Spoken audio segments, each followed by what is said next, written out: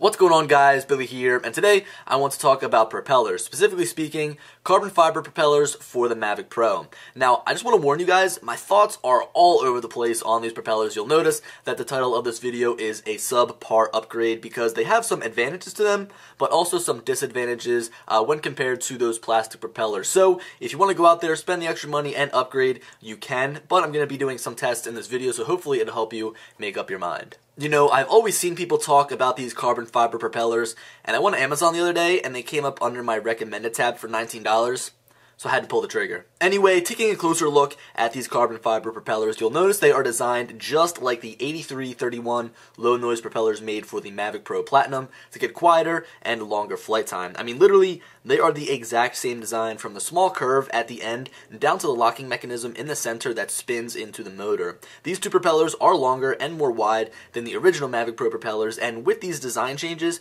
we actually can hear a pretty big difference in noise when we are flying. We'll take a look at this in just a little bit. While we're still here at the table, I quickly want to show you just how strong these carbon fiber propellers are. Bending the plastic propellers from DJI is really easy, and oftentimes if you crash your drone, these are the first things to break. Even if you lightly graze a tree branch and break one of your plastic propellers, it could cause irregular flight or even worse, it could send your drone tumbling from the sky. This is not the case with the carbon fiber propellers. As you can see, when I try to bend them, there is very little give. Now, just because these propellers are stronger doesn't mean that they are better. Let's say you hit something a little bit harder, like a tree trunk or maybe even the ground. Those stronger propellers will not break under the force. They might, but usually, typically, these carbon fiber propellers are pretty strong. They won't break. Therefore, your motors are going to take most of the damage, most of the blow, and you could totally blow out an ESC or even the entire motor itself. Now I know there will be some people out there wondering if these carbon fiber propellers will actually lock into place like the stock DJI propellers, which they do. Just like the regular propellers, there's no sign of them being loose, wobbly, or off balance. This makes for smooth and safe flight. Alright, so now we're outside. I've got the sun in my eyes. But we're to run a couple of different tests out here. The first one that I want to do is a quick noise test, which is something I always do whenever I try a different pair of propellers or a different set of propellers on my drone. Now, just a quick heads up, all of these tests are to be done with the original Mavic Pro and not the Mavic Pro Platinum.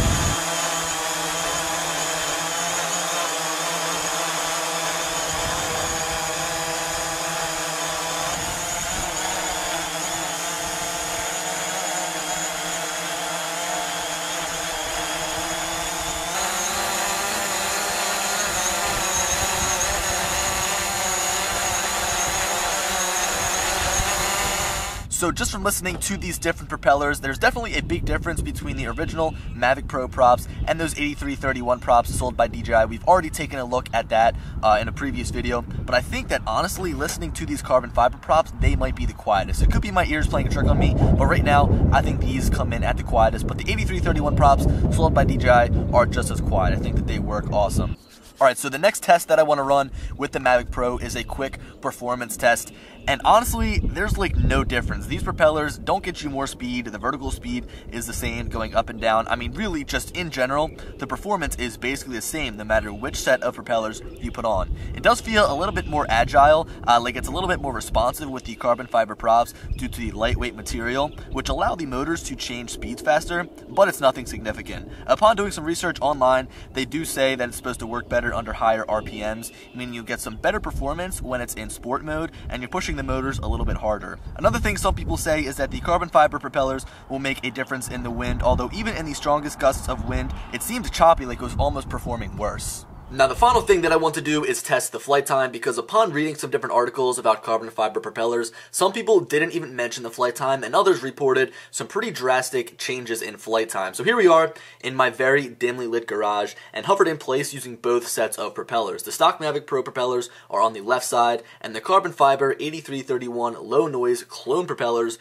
are on the right. I started off at 100% battery on each of the drones or each flight and let the Mavic sit there until it reached 10% battery which it immediately landed due to critically low power. The results I got were to be expected. I got a flight time of 24 minutes and 43 seconds with the regular propellers and 23 minutes and 26 seconds with the carbon fiber propellers. So we're looking at a decrease of overall flight time by around a minute and 17 seconds. If it was anything over two minutes, I probably would have said that it's a bad thing, but honestly, a minute of decreased flight time, or I guess a minute 17 seconds, really doesn't bother me all that much. So I know we went through some of these tests pretty quickly, so I want to take a minute to relax and do a quick recap over everything that we've learned from testing out the carbon fiber and the plastic propeller. So here is a quick chart that I made. It's going to show you the positives of each of the different kinds of propellers. So for the carbon fiber props, they are stronger. It's going to handle these smaller obstacles better just because it's a stronger made blade. Therefore, if you run into any twigs, leaves, any small branches, stuff like that, it's going to cut right through it and keep flying rather than falling down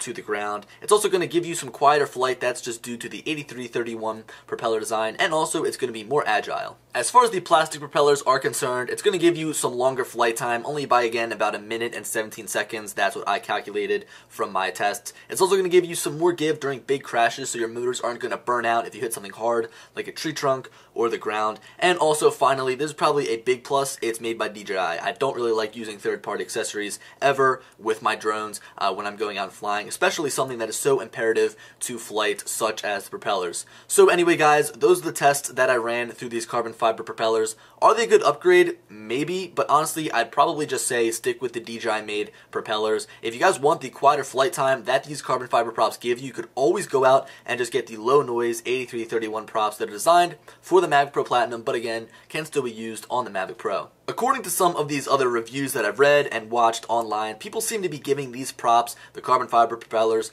a lot more praise than they deserve. They're really not all that special, and also some people seem to say they're like crazy expensive. When I bought mine for $20, whereas original or the stock DJI propellers cost $10. So again, they're really not all that much more expensive. But guys, hope you enjoyed the video. If you own carbon fiber props, be sure to let me know what you think down in the comment section of them.